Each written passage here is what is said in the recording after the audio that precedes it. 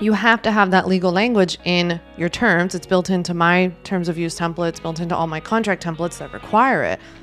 But that is not something I tend to see in these freebie contracts. Hey there, and welcome back to On Your Terms. Or if you're new here, welcome, welcome. I'm so glad to have you. Today, we're talking about something I get a question about a lot on social media, in my emails, even by my own customers in the Ultimate Bundle, asking if you're allowed to use the free, like included terms of use or terms and conditions when you sign up for some sort of tool or software like Thinkific or Kajabi or any of the other platforms, right? It doesn't really matter. Insert platform here. People always ask me if you can use the free terms of use or like the, I don't know, default terms of use, I guess, that are included on those platforms and whether that's good enough or whether you have to get your own thing, whether you should customize it. Is there something that's missing from there? And I think that these are all really, really good questions because it's pretty confusing, right? It's like, well, if they've provided it to you, surely it should be pretty good, right?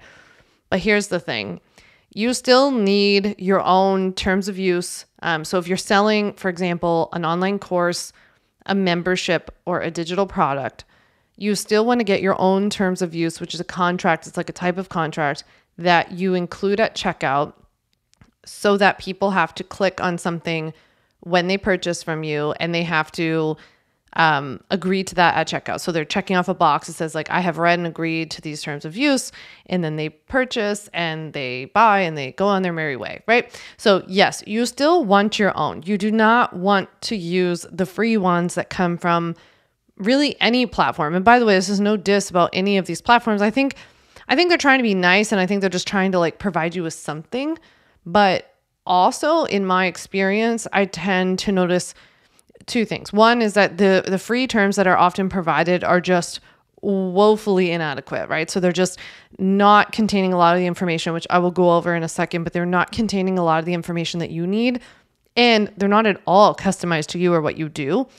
And if you've listened to my show before, anything that I've really done, you know that one of the things I talk about is that you have the opportunity to set your own business practices. Like, you don't have to have the same refund policy that I have. You don't have to have the same rescheduling policy as your friend, right? You get to do whatever you want to do. This is your business. You set the rules, you set the terms, literally and figuratively, right? So, for one, I don't really love you taking somebody else's and like, just dealing with it, right? Because also you have to, as a business, you have to set the terms and you have to set the rules because then you know what they are. So you know if people are actually following them or breaking them or what to do if they do break them, right? But if you've just accepted default rules, you're like, uh, I'm not really sure what it says, or like, I'm not really sure what I can do about it. So I really want you to own this. So for the, like I said, first things first, I would just say they're woefully inadequate, but also that they are not at all tailored to you and you kind of, you know, I think should take advantage of that opportunity. The second thing is that I do tend to notice that the terms of use that are provided by these companies are a little bit more geared towards protecting them as well, right? Which again is like their prerogative. They're the company and they're providing these for free and they don't have any obligation to do so.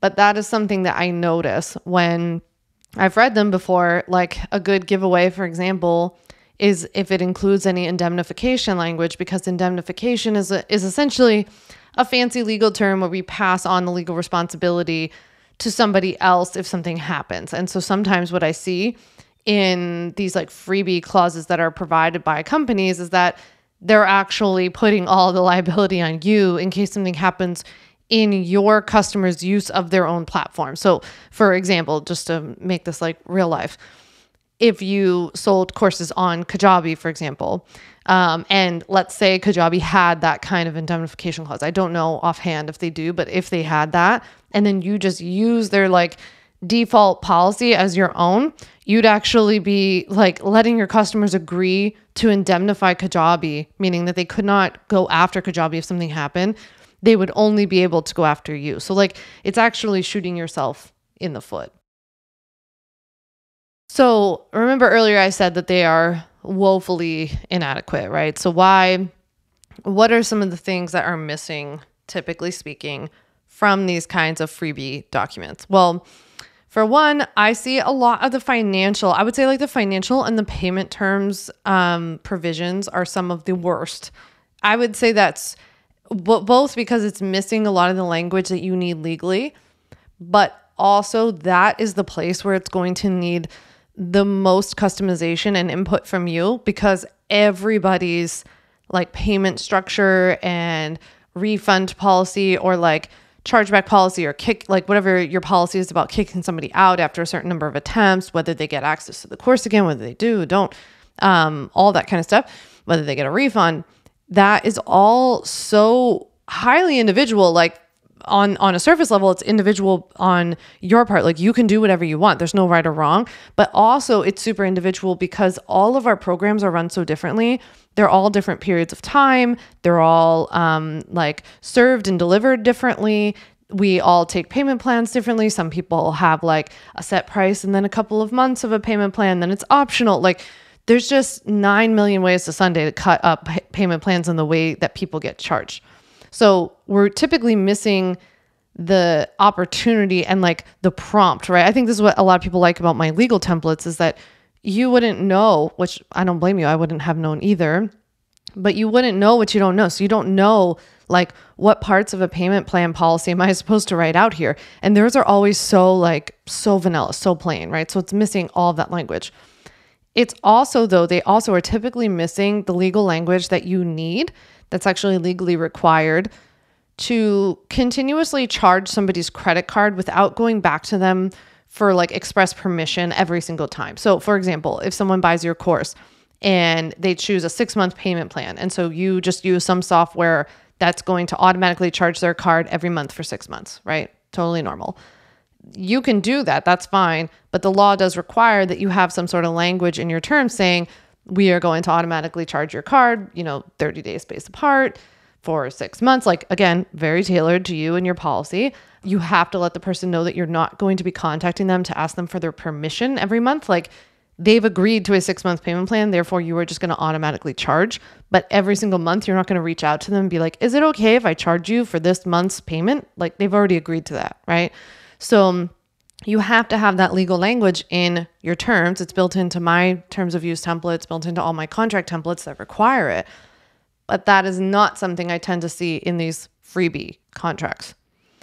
I also don't ever see any chargeback threat protection. I mean, this is pretty pretty common in our industry, but it's not something I see mentioned. So chargeback threat is when a person goes to their credit card company and says like I didn't like this and I want my money back, right? Instead of going to you, or maybe they do this to their credit card company after they've tried speaking to you and you've um, enforced your refund policy. Sometimes people do this in a kind of fraudulent way where they'll say, like, I never got the product, even though they did, right? Again, this is one of those things where you can really successfully defend yourself against these chargeback threats um, if you have the proper legal language in your terms and you presented the terms properly. So I don't tend to see that language in the freebie contracts, but they are in my templates. I also don't see a whole lot about intellectual property protection. Um, both, you know, if I see anything, it might be like a general IP statement, but it is important for people to know that this stuff is your intellectual property. I also think it's important to have more specific language in in that section or somewhere in your terms of use that talks about the fact that this, like, let's say you're selling an online course, this course is not meant for people who want to be inspired by something and to go out and create their own. So you they can use the the content and the substance of what's in your course for their own personal use, but it's not meant to be something that is like replicated elsewhere. It's not licensed. You're not offering them any sort of license. Like that's a very complicated legal topic. And so that's not something I see typically addressed in these freebie contracts.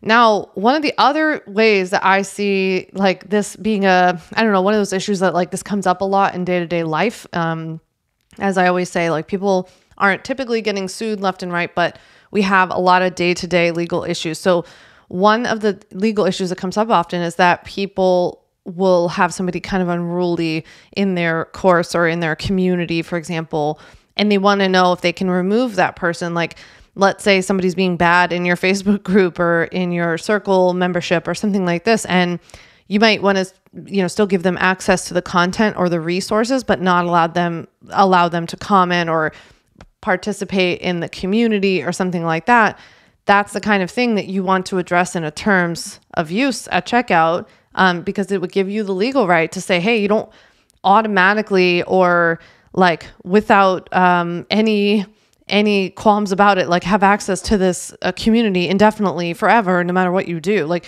we want to be able to limit that only obviously for the the bad cases but like you still want to be able to limit that and i have seen that actually come up quite a bit. So that's something i don't see in there either now i could sit here all day and probably read more and more things for you that i don't see typically in these terms of use or really in any contracts that i see you get online for free um, even stuff that you get online from like a friend or somebody you met in a, a group or a community, because we don't know where they got it from and we don't know if it was drafted by a lawyer. We don't know how many changes they made to it. And really, at the end of the day, what I see make the most difference is when people feel confident about the contracts and policies that they use in their business, because that's what's going to get you to confidently enforce it and confidently put yourself out there more often.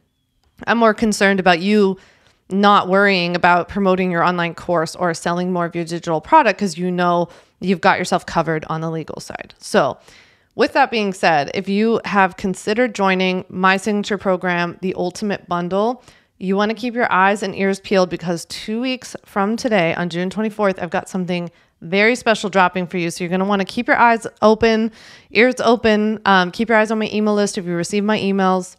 I think you're going to be really excited about what I've got going on. All right, with that, I'm about to hop off. I'm going to go film. I'm going to batch record a whole bunch of social media videos for the month of June. Our marketing assistant, Michelle's coming over to help me get it done. She's the enforcer.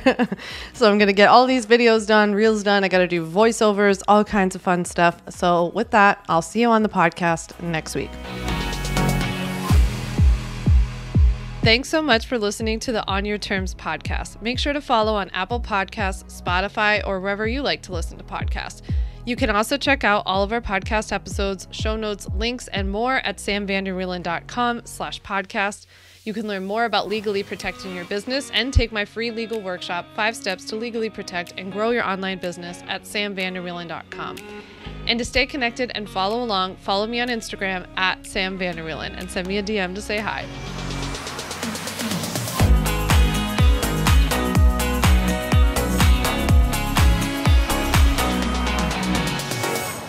Just remember that although I am a attorney, I am not your attorney and I am not offering you legal advice in today's episode. This episode and all of my episodes are informational and educational only. It is not a substitute for seeking out your own advice from your own lawyer. And please keep in mind that I can't offer you legal advice. I don't ever offer any legal services, but I think I offer some pretty good information.